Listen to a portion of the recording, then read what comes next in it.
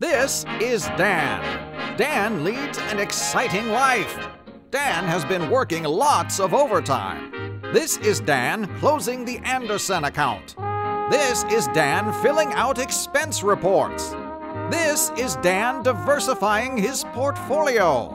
And this is Dan relaxing. Dan needs a break.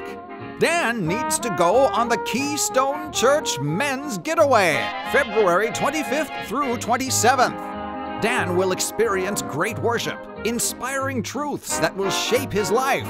He'll build new relationships and test his skills in the stampede of the studs. What's that, Dan? Where can I register? Online, of course. Go to keystonechurch.com slash men to register. Good on you, Dan. Good on you.